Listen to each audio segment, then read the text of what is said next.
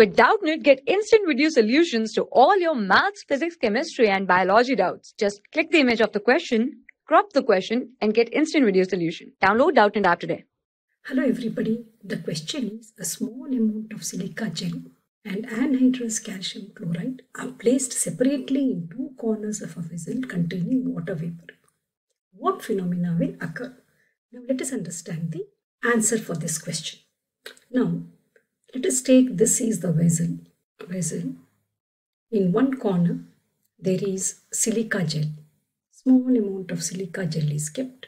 Another corner calcium anhydrous that is uh, anhydrous calcium chloride is kept. And then water vapor. The vessel is containing water vapor. Let us say this is the water vapor. So what happens? So here is the silica gel.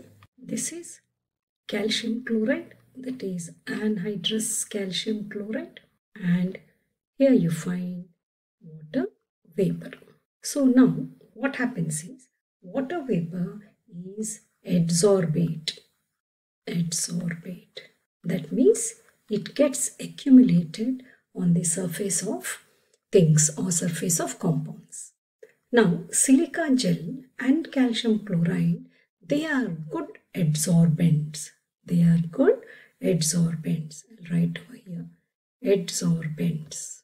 Adsorbents. So now, as water vapor is there, and it is a very good adsorbent, and these are good adsorbents, so these particles of water vapor, they get stuck to the color, get stuck on the surface of silica gel and also on the surface of anhydrous calcium chloride.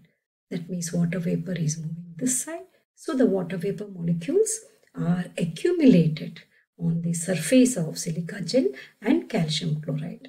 And this phenomenon is called as adsorption. This phenomenon is called as adsorption. This is the name of the phenomenon. That's what is asked in the question that what phenomena will occur. Phenomena is the plural. This is the singular. So adsorption. I hope all of you have understood. Thank you. For class 6 to 12, IIT JEE and NEET level. Trusted by more than 5 crore students. Download Doubtnut app today.